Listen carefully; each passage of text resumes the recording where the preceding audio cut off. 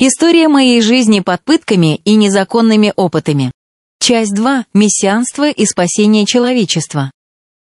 Продолжение первой статьи vk.com собака волневиктер история «Моя жизнь под пытками назаканиями опитами» о том, чем продолжилось шоу элиты и сильных мира сего.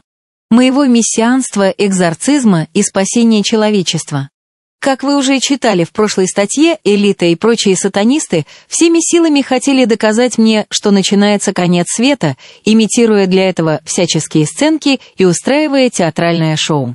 В своих постановках они демонстрировали, что вокруг полно бесноватых людей, и у меня имеется некая власть их изгонять, с последующим за этим шоу, происходящими невольно обрядами экзорцизма в моем присутствии. Тогда еще толком не знал о том, что у меня внутри были установлены чипы в ушах и горле, которые связаны каким-то образом с челюстью и позвоночником. Они позволяли под облучением открывать рот и выгибать тело, будто из тебя выходит некий злой дух, что часто со мной случалось при молитвах. Все время проживания в квартире умершего родственника был сильный ветер и холод, в основном из вентиляции, но потом они специально выбили окно в подъезде, дабы задувать мне свою химию также через дверь. Ее можно было узнать потому, что все внутри промерзало. Температура этого химического воздуха была явно не свойственной обычному ветру и той, что была на улице. Как позже выяснилось, именно с помощью этой химии они раскачивают нервную систему и могут тобой практически управлять. Теряются всякие силы, появляется очень сильная слабость, подавляется воля. Эта химия пробирает до костей, потом отогреваешься с жаром, потом и таким образом приходишь в себя. Сейчас же они также продолжают задувать этот химический воздух мне в окна и пускать в вентиляцию. От нее становишься еле живым и засыпаешь, менее сопротивляешься их издевательствам.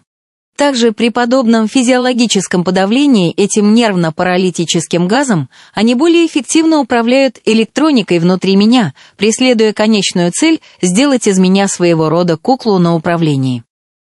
События развивались стремительно, все более углублялся в христианство, последние времена и экзорцизм. Также начал замечать, что мне становится плохо от всей электроники и приборов поблизости, особенно сильно болела голова и уши после разговоров по телефону. Тогда же начал изучать тему о воздействии Эми на нас и вреде излучения, думал, что у меня обострилось восприятие, и вместе с даром изгнанием бесов открылись экстрасенсорные способности. В общем, мне еще повезло, и волею случая пришлось вернуться домой к родителям. Там же первым делом приметил тот факт, что продувалась квартира намного меньше. В основном этот холодный воздух подавали мне лично в межкомнатных пространствах, боясь зацепить родственников. Так что я отдыхал от всего, восстанавливался и согревался.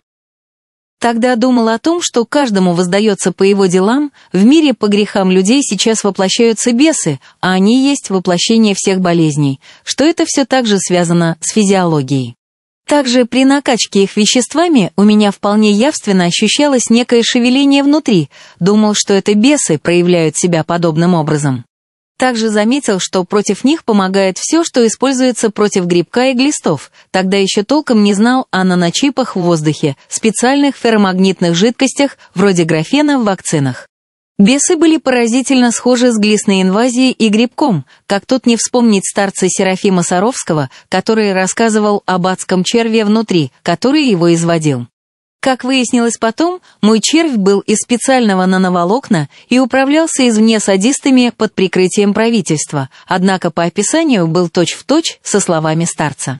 В общем, понял, что как при различных интоксикациях, для избавления от этих веществ и нано требуется очищение организма и правильное здоровое питание. Перебравшись к родителям, часто замечал, что мама становится странная и взбудораженная, когда приходит с улицы, думал, что таким образом на нее влияют окружающие люди и их энергии, повсеместная демоническая атмосфера. Говорил ей поменьше посещать всяческие торговые центры и прочие скопления людей, дабы не набраться от них лишнего. Тогда еще не знал о том, что при каждом выходе и по всему маршруту следования ее просто накачивают, опыляют своими отравляющими веществами и прочей дрянью, которая расшатывает нервную систему.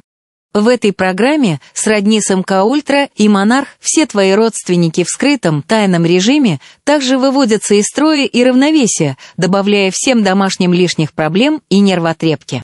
Одна из их целей – это полная биодеградация и деградация личности, разрушение жизни и связей жертвы. Когда еще жил у умершего родственника деда Адама, то никуда особо не выходил и отвык от больших скоплений людей, но когда выбирался в город, меня начинало вполне ощутимо будоражить. Помнится, даже звонил своей маме и рассказывал, что сейчас в городе забуду все, что тебе говорила о правильном питании, философии и религии, стану таким же, как все, погрузившись в демонические энергии. На самом деле во многом виновата их химия, от которой также частенько происходят провалы в памяти и общее состояние, как после алкоголя. Так даже думал, что так действуют тонкие вибрации, и также правительством происходит зомбирование людей через фоновую музыку, свет. Впоследствии оказался прав. Сейчас информацию можно передавать через свет, специальная технология Li-Fi. Также многие люди прилагают видео о фонарях с 5G-блоками внутри. Как известно, эми и радиосигналы передаются свободно по воздуху и не виды глазу, именно с их помощью активируются чипы внутри человека.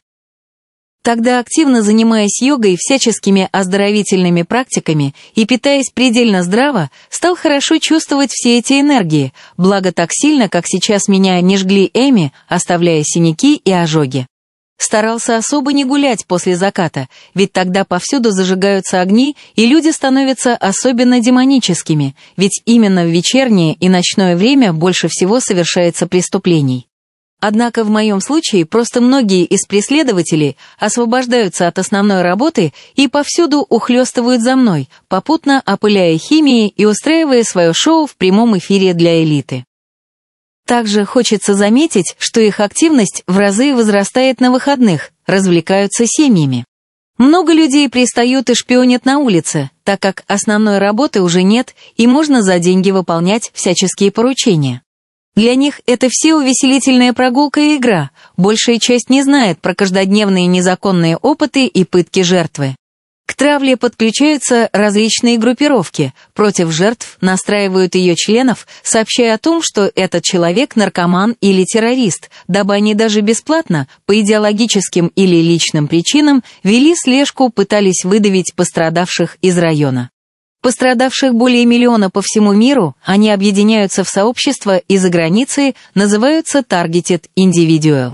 Жертв пытают, дискредитируют, преследуют, обкатывают на них новые виды оружия, акустическое, электромагнитное, лазерное и технологии, в том числе и чипирование, проводят над ними незаконные опыты. Цель не уничтожить и посадить в тюрьму, например, а просто наблюдать за человеком в естественной среде для своих научных опытов, новых разработок и также попутно всячески издеваться. От этого кормятся все остальные – спецслужбы, наркомафия, корпорации, медики, элита. Довольно часто жертвы пишут о том, что каждый вечер у них начинается шоу для элиты, им нравится играть живыми людьми, причинять им боль и страдания. Также в этом задействована целая армия завербованных штатских, нечто вроде современного штази, которым нужно тренироваться, а дабы не сидели без дела, обучаются и на обычных людях. Чуть позже я поехал на дачу к своим родителям, думая, что там мне будет легче и отдохну от всей этой чертовщины, ведь меня также часто посещали мысли об избранности в связи с новыми способностями.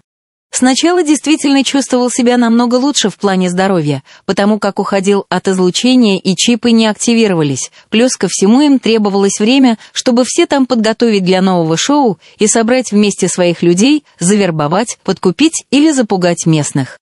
На природе, как уже писал, чувствовал себя отлично, но стоило только войти в дом, как состояние резко ухудшалось, после чего основательно уверовал в силы природы и не взлюбил электричество, благо цивилизации.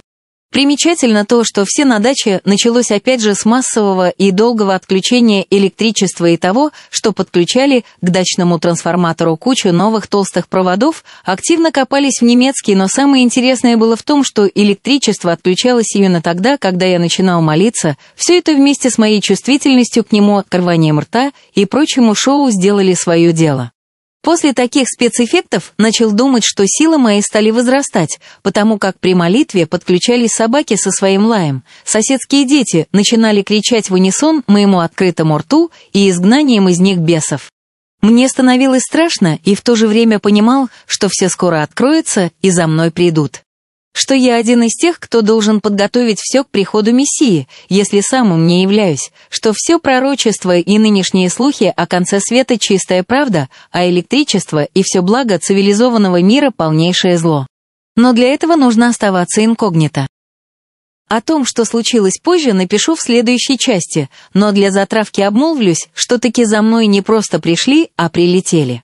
Было преследование вертолетом и прочей бандитской техникой. Гоняли меня по лесу ночью, даже привезли прожекторы, военную технику для пущего эффекта и достоверности поимки опасного преступника экстрасенса Мессии.